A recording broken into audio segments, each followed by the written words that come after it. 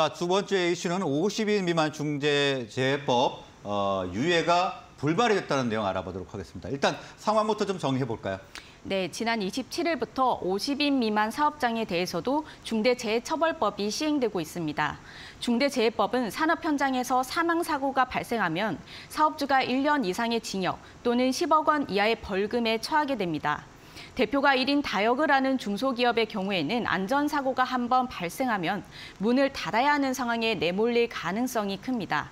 그렇기 때문에 중소기업계는 현장 준비 부족 등을 이유로 2년의 추가 유예를 요구해 오고 있었는데요.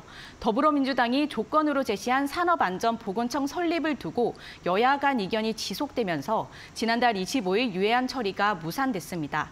결국 지난달 27일부터 시행 예정이었던 중대재해처벌법은 50인 미만 사업장에도 확대 적용됐습니다. 음, 네. 자, 그러면 지금 중소기업계 반응은 좀 어떻습니까? 네, 중소기업계는 중대재해법 유예 불발에 강하게 반발하고 나섰습니다.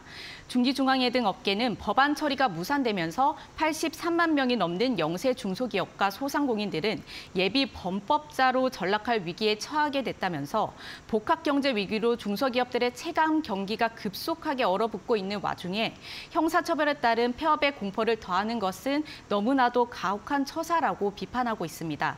또 지난 23일에는 중소기업계 의견을 전달하기 위해서 국회 본관 앞에서 50인 미만 중대재해법 유예를 촉구하는 기자회견이 개최가 됐습니다. 이날 중소기업과 건설업계 17개 협단체와 그리고 전국 각지에서 모인 중소기업 대표 3,500여 명이 결집했습니다.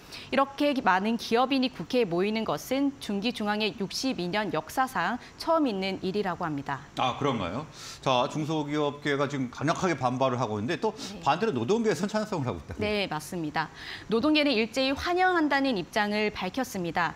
민주노총은 논평을 통해서 국민의힘 산업안전보건청 설립을 조건으로 중대재해법 적용 유예안을 제안했지만 더불어민주당이 의원총회 끝에 이를 받아들이지 않기로 결정했다면서 계약 시도가 무산된 것에 대해서 환영한다고 말했습니다. 재논의는 불가능한 얘기인가요? 어, 일단 지난 1일 국회 본회의에서 중대재해법 적용을 2년 유예하는 내용의 개정안이 상정조차 이뤄지지 못했습니다. 야당이 협상 조건으로 제시한 산안청 설립을 여당이 수용하지 못함, 수용하면서 합, 합의가 성사될 것이라는 기대감이 조금 높아졌는데 결국 야당이 여당의 협상안을 거부하면서 개정안 처리가 불발됐습니다. 당분간 유예를 위한 논의가 조금 어려울 것이라는 전망이 나오고 있습니다. 여야가 최종 결렬을 선언한 것은 아니지만 남은 국회 일정과 4월 총선을 고려하면 어, 당분간은 쉽지 않을 것이라는 관측이 나오고 있습니다. 네, 일단 최종적으로 결렬된 것은 아니지만 지금 4월 총선과 관련해서 양당이 지금 극한 대립을 하고 있으니까 아, 결정이 다시 나기는 쉽지 않다. 이렇게 네. 정리를 해보겠습니다. 네. 자, 그러면 대통령실에서는 어떤 입장인가요? 어, 윤석열 대통령은 어, 여야 합의가 불발되자 유감을 표시했습니다. 특히 민주당이 요구한 산업안전보건청 설립을 국민의힘이 수용했음에도 협상이 거부한 데 대해서 4월 총선을 고려한 정략이라는 비판을 제기했습니다.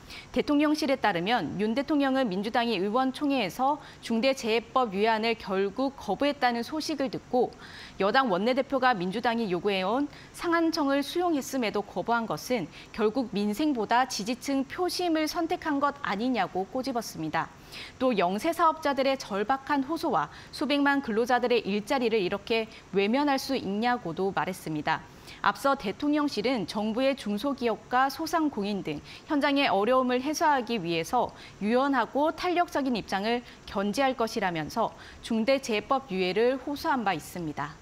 네, 자, 50일 미만 중대재해법 어, 유예안이 불발된 상황에 대해서 지금 이슈 자세하게 짚어봤습니다. 자, 오늘 말씀 여기서 마무리하겠습니다. 고맙습니다. 고맙습니다.